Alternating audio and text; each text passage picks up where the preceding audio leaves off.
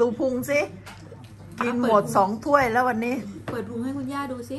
ผักโขมอบชีสเหรอ ไหนเปิดพุงก่อน เออ นั่นดูพุงคุณย่าดูพุงสิ คุณย่าเอาเอาอะเปิดพุงให้คุณย่าดูเอาใหม่ เปิดพุงคุณย่าดูหน่อยอะคุณย่าดูพุงเจ้าคุณนะครับพุงพุงเสียน้อยแล้วคุณย่าดูพุงเจ้าคุณนะครับอายแล้วเหรอน้ำมันแซ่บเผ็ดนะสองถ้วยแล้วเหรอเผ็ดเกิน สำหรับแม่เผ็ดหน่อยโอ้